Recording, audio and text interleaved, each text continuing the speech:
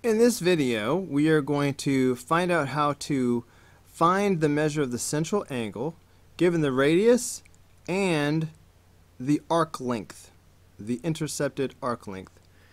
Um, now, I find it most convenient to start with radians, even though ultimately we're going to have to find degrees as well. So if you know radians, then you've got this uh, really simple formula involving arc length, which goes like this. Um, the arc length is just the radius times the central angle. So look how short and simple that formula is, so I love it. Um, the arc length is 9, so that would go right here.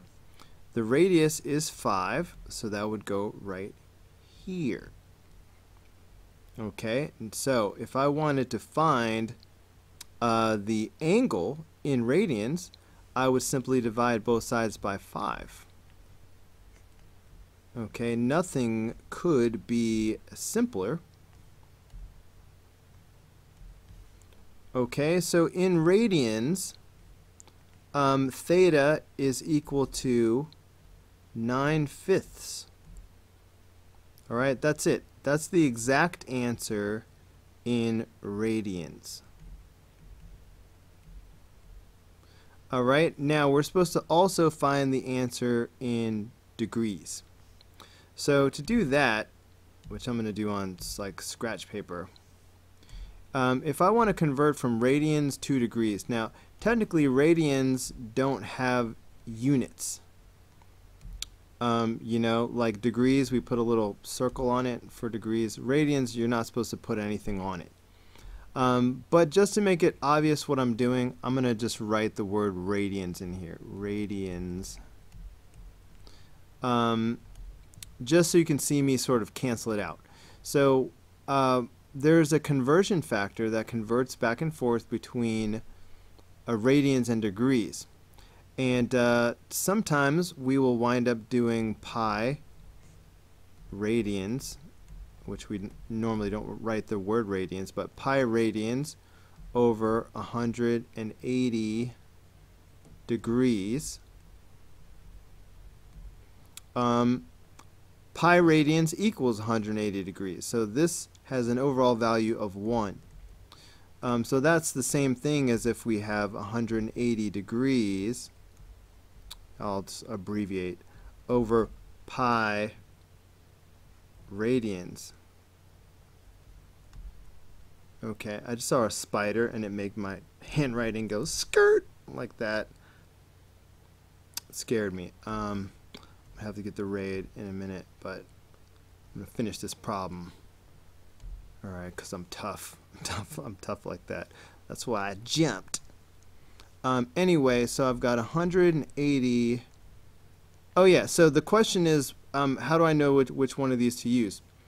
Well, if I have radians already, I need to cancel out radians and be left with degrees. So I need to pick the version that has radians in the denominator so that it will cancel out.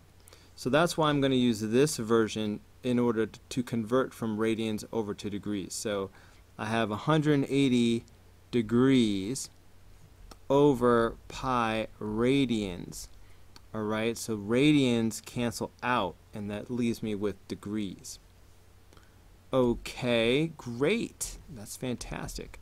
Um, so this is going to be, um, let's see, what's 9 times 180? Let me just double check to make sure that I'm right about what I already know. Um, nah, you know? I didn't know that. So 1,620. So I have 1,620 over 5 pi. So this is actually degrees at this point, okay? Um, so if I wanted an exact answer, uh, this would be it, but uh, something tells me that we're supposed to go ahead and rock this in uh, decimals. Alright, so let's see.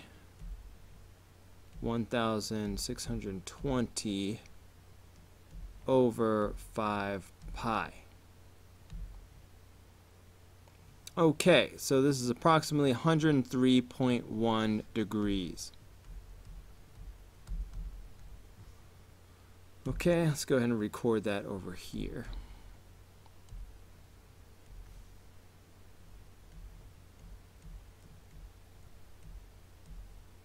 Okay.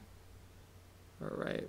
I really want to know where that spider went because I took my eyes off it and now it could be anywhere.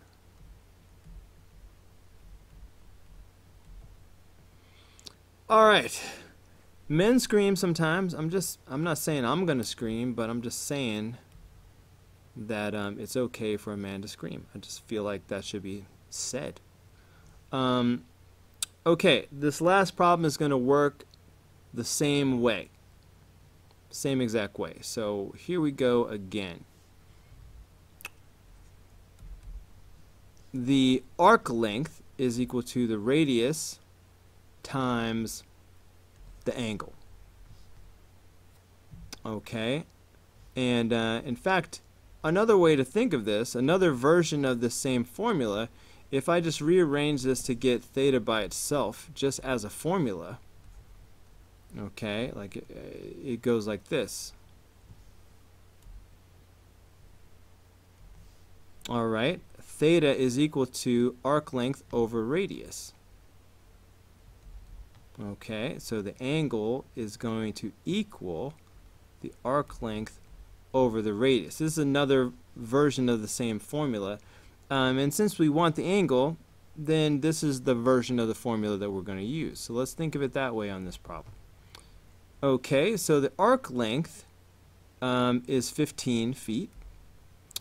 Um, did I forget that? Oh yeah, so if we got 15 feet, uh, and then the radius is uh, 4.5 feet.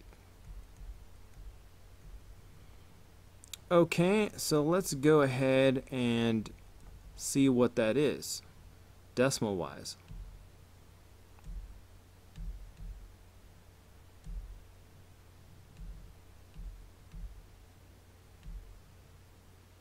Okay, so that's 3.3.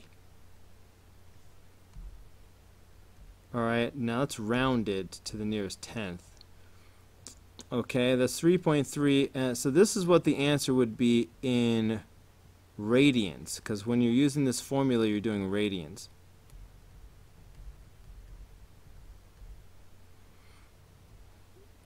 Okay, um, but I need to convert this to degrees because we're supposed to get it in radians and degrees. Alright, so so far I have radians. Now I don't want to use the 3.3 because I rounded that. Alright, so I'm really going to go back to my 15 over 4.5. I'm going to go back to that. Okay, and uh, let's see, I can use my notes here. So I have my, in radians, I have 15 over 4.5 and this is in radians. So I need to convert this over to degrees and I'm going to use this conversion factor again. So I'm going to do 180 degrees over pi radians and I know to pick this version so the radians will cancel out and simply leave degrees. Okay, so it's just a matter of uh, what this is.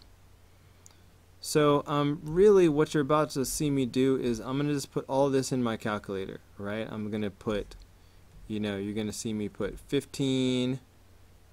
Um, you know what? In my calculator, you'll probably just see it like this. I'll do. I'll just go ahead and do 15 over 4.5 times 180 over pi, and let's just see what happens.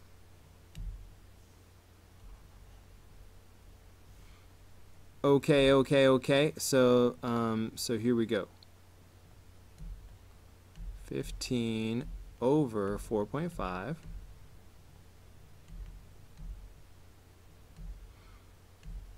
times 180 over pi.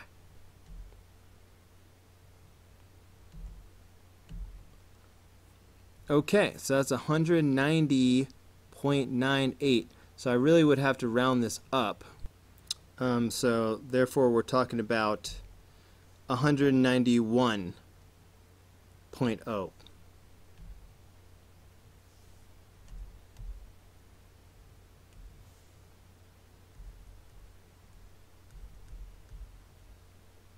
And so that's what you would have in degrees.